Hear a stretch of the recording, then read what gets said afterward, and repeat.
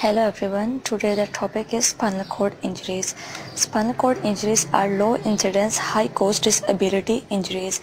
The age of uh, onset of spinal cord injuries, yeah, uh, we can say uh, the age in which spinal cord injuries are more common is 16 to 30 years of age.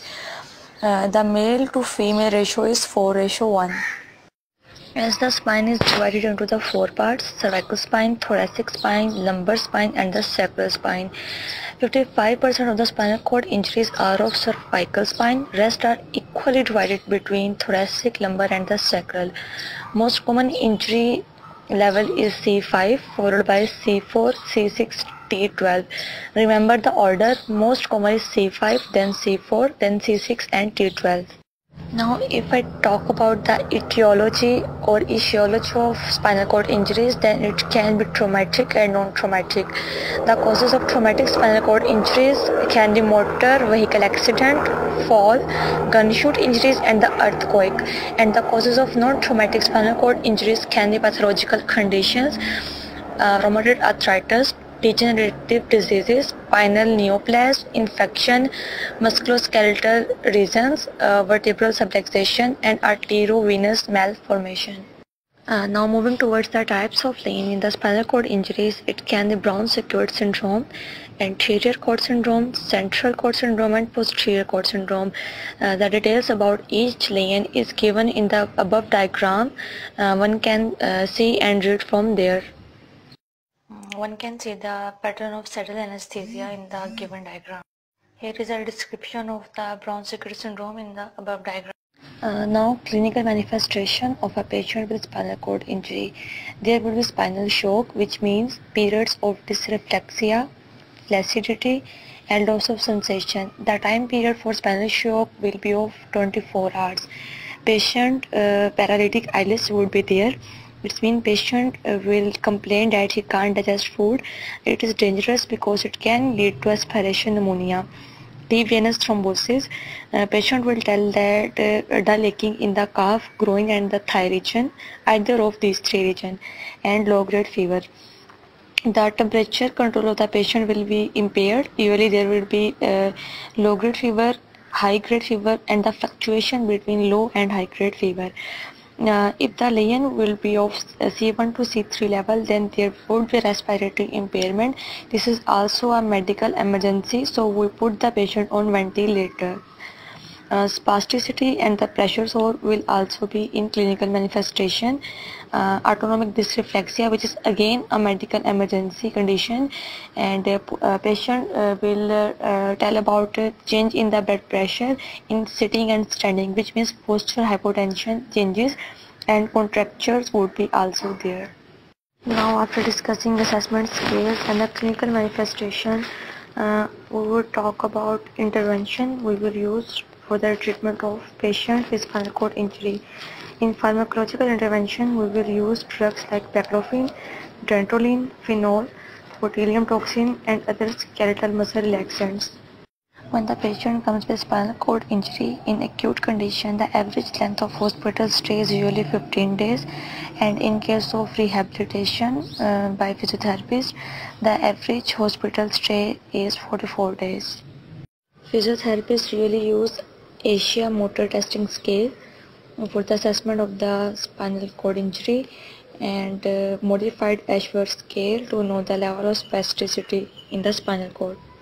And the scales are also given in above diagram. In physical therapy intervention, we can give patient heat therapy, heat therapy to remove contracture and break contractures, cold therapy to decrease sign of inflammation and pain, TENS that is transcutaneous electrical nerve stimulation modality used in physical therapy outdoor patient department to stimulate the nerves. Electrical stimulation for the denervated muscles. Hydrotherapy uh, hydrotherapy uh, to equalize balance and the posture and the weight bearing exercises uh, to remove the contractures. Uh, Secondary complications can be pressure ulcers. So physical therapist will learn the uh, will ask the patient to learn healthy activities and to change his position on the bed after every half an hour and on the chair after every 20 minutes.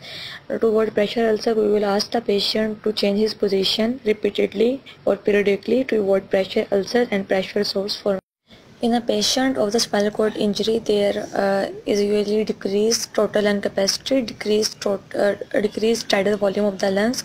So we will teach the patient to use accessory breathing techniques, uh, for example, apical breathing and the glossopharyngeal breathing. And we will uh, uh, teach the patient cough techniques secretion clearance will be done by physical therapist uh, and uh, abdominal supportive belts uh, belts will be used um, and electrical stimulation is also an important factor here. Now I would like to discuss hydrotherapy in detail. In hydrotherapy, as the name indicates, it's a use of water therapy for the postural correction of the patient. Hydrotherapy is usually used in, in, more advanced setup of the physical therapies centers during outpatient departments. In hydrotherapy, we tie the patient with lumbar supportive belts on both sides and suspend the patient into the water pool with the assistance of physical therapists. As we know, uh, water will act a buoyancy force on a suspended object in water. Uh, so water will uh, apply a, buoy a buoyant force and at the same time gravity is also acting on the patient. So there are two forces simultaneously buoyancy force uh, from the water and the gravity force uh, uh from the ground gait training is also a very important factor and physical therapist will teach the patient uh, uh, safe kinematic gait techniques so that there would be decrease and uh, lessen uh, uh, chances of fall. As we know uh, increased risk of falls are there in case of patient of uh, spinal cord injuries and even strokes. So uh, we will teach the patient safe kinematics and safe biomechanics of the gait cycle. In post discharge rehabilitation uh, physical therapist will assist the patient to learn the activities of the daily living active passive and active assisted range of motion exercises self-care and the self-grooming skills. Physical therapists will help the patient to learn new patterns of independency like eating, mobility, mobility on the bed, uh, bed to chair mobility and uh, use of assisted devices in a correct manner. Now in the last I would like to talk about stem cell therapy. Uh, beside all surgical interventions, pharmacological, conservative, physiotherapy intervention, the most uh, advanced way is stem cell therapy for the repair of spinal cord injuries.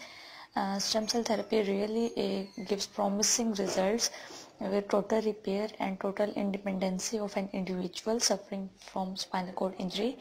Uh, actually, in the stem cell therapy, we transplant stem cell uh, in any organism, and they can and they can convert into any cells in any organism according to our desired effects.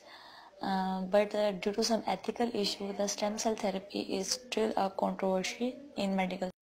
Mm, this was all about spinal cord injuries. Thank you all and uh, I hope that uh, this video may help you uh, for quick review of spinal cord injuries.